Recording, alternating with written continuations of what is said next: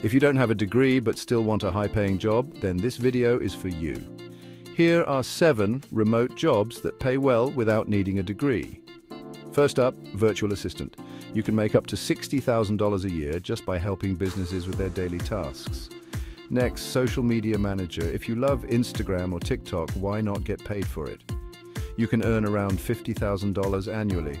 Third, customer support specialist. Good with people, this role pays about $45,000 per year. Number four, content writer.